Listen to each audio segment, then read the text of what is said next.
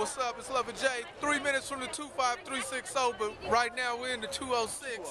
And uh, we just finished with the Rise and Decolonize celebration here at Westlake Center, downtown Seattle.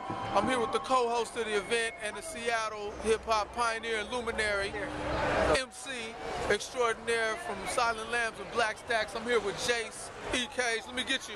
Yes, sir. What's up? What's up? Jose? How, how'd it go, man? How Oh, was was it? Beautiful, man. It was in the movement and spirit of hip hop. You got to see the elders. You got to see the youth.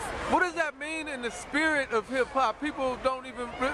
What does hip hop mean now? Well, I mean, hip hop means now the same thing as it meant then. Okay. You know, hip hop went against the grain. Hip hop was a protest. It spoke against the things that were injustices that were happening in the neighborhoods, in the communities.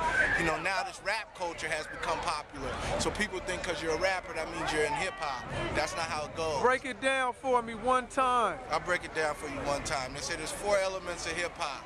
They say there's DJing, the beat, the heartbeat, the drum, the sound. They say there's rapping, or the words, the emotions, they're the voices of the people. They say there's dance, which is the expression of the people through movement and action. And there's also visual, graffiti, that you, so people can see, they can witness, you can take the pictures. It's like the hieroglyphs. Right. In rap, name me four elements that make a rap. There's not four elements that make a rap. Might be four genres, Okay. but there's not four elements. Okay.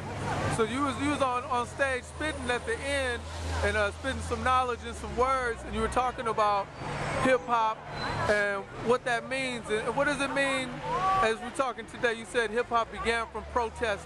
What do you mean by that? What does that mean for tonight? Well, I mean, tonight spoke to a lot of things. It showed that there's continual struggle that's happening in this country.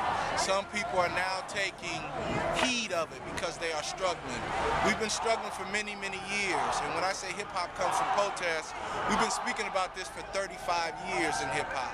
We've been talking about all these things healthcare, education, economics, uh, voice in politics, uh, housing. We've been speaking on these things for years. So now America is here, the world is here, and now we're all speaking the same language. 99% of us are speaking the same language. So time is here. All right, all right. That's my man right here, Big Jace. When you see him, when you hear the Silent Lambs is playing or Black Stax is playing, get your butt down to the show and Please, support and get a do. taste of some of the soul that still exists in hip hop. Yes, indeed. Three minutes from the 25360.